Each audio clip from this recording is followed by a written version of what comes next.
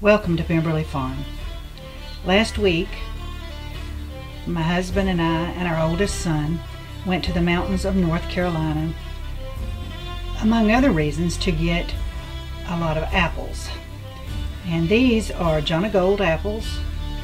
They are great apples. They're they're sweet. They're really most of them are really really big. Very very good apple.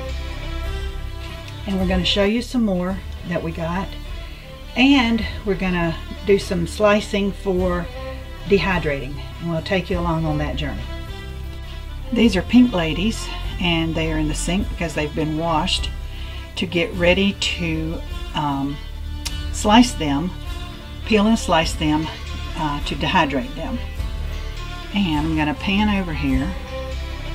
This is a handy little gadget. If you don't have one and you do very many apples you need to get one.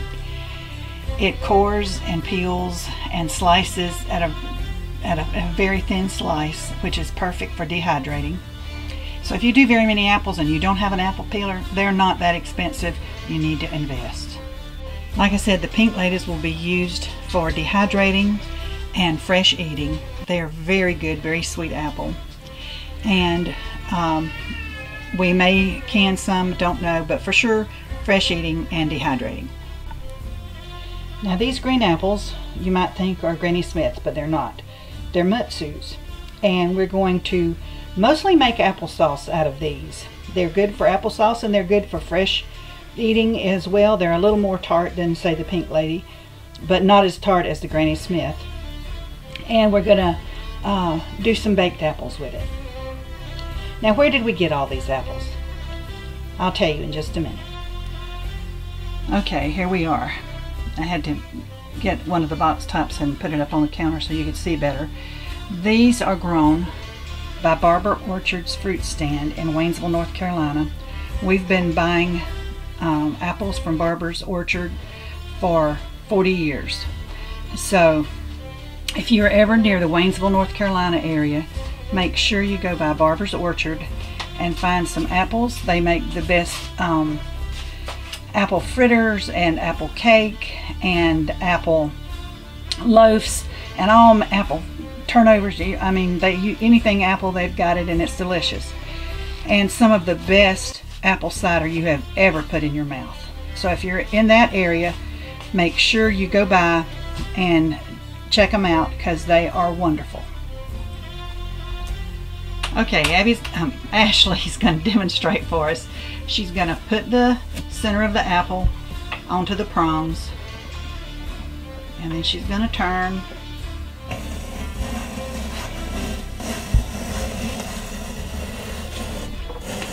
And it's going to peel the apple.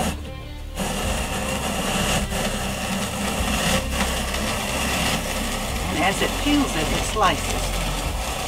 Oh, the core slices. Yeah, the core slices it. We'll have to take, there's a, sometimes depending on the shape of the apple, it leaves, see, look at there. That is amazing and it makes your life so much easier. And those are perfect. Uh, we'll get the little bit of peeling off and it will go into the dehydrator and that'll be that. It is a great little gadget. And here is your peelings and your core. And we're saving all of those because we did a bunch of stuff yesterday. So we're saving all of that and we're going to cook it down and make apple peel jelly. Okay, so Ashley's doing another one. And what we've added to this picture is a bowl with lemon juice and water. Now you can use citric acid or you can use lemon juice. I just had lemon juice handy and so that's what I use it. Uh, and so the reason you do that is so that it will not um, turn brown as bad.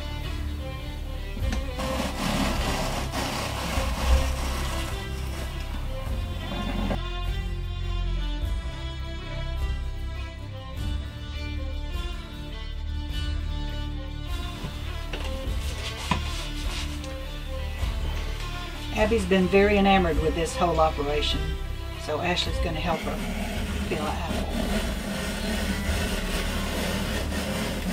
She loves apples. She's just recently discovered her Yeah. love for apples. Apple. You say apple. Cool. Yeah. Cool.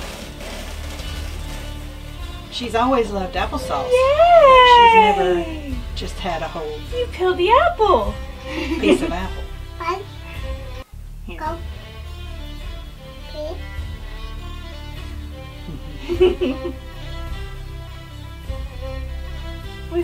Okay, so we've come across the street to the old farmhouse where our um, dehydrator is hooked up. Um, and what we're going to do is just put these on the trays. Like I said, that um, core and peeler and slicer does a great job. Now, you know, like I said, some of the peels are um, not completely off in some areas, but that's okay. Now, then they're still going to turn a little bit. It's not going to, they're not going to stay snow white. This is not a commercial operation and I don't care what color they are. We just do it so they don't get quite so, quite so dark. So we're just putting them on the trays. Then we'll put them on the dehydrator. I turn, turn on the dehydrator, I believe at 135 degrees. You can use any dehydrator. This is an Excalibur, which I love it, but um, you can use whatever you've got. And you can even, um, one of these days, you'll see a whole series on dehydration from the most, the best ones like the Excalibur, all the way down to something very primitive. But I won't promise when. And we love dehydrated apples. The problem with dehydrated apples is uh, them lasting very long because everybody loves them. And one of my favorite things to do with dehydrated apples is make fried apple pies. And what I do is I make my biscuit dough, and Abby's with us always. She's with us. But one of my favorite things to do is make the fried apple pies, and I make my biscuit dough, and I roll it out, and make um, little turnovers, and use the dehydrated apples that I've rehydrated, and kind of fried in some butter a little bit, and do the same thing to um, my biscuit dough.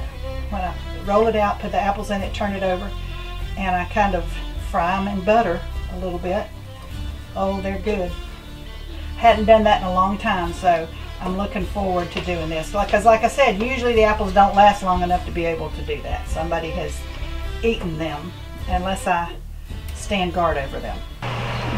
Okay, so we have filled up all but two, uh, two racks. We'll go back over to the house, do enough to fill those two racks because I want this thing completely full.